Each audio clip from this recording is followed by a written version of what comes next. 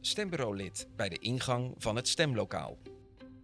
Voor ieder stemlokaal staat buiten een stembureaulid. Wanneer in een stemlokaal meerdere stembureaus gevestigd zijn, kan behalve buiten ook binnen een extra stembureaulid aanwezig zijn. Het stembureaulid heet de kiezer van harte welkom. Hij of zij bepaalt wanneer de kiezer naar binnen mag. Het stembureaulid vraagt of de kiezer de stempas en een identiteitsbewijs heeft meegenomen. Zo niet, dan kan de kiezer op dat moment niet stemmen. Wanneer het 9 uur 's avonds is en het stembureau sluit, gaat het stembureaulid achter de laatste kiezer in de rij staan en zorgt ervoor dat niemand meer aansluit in de rij. Wanneer er dan nog een kiezer aankomt, kan hij of zij niet meer stemmen.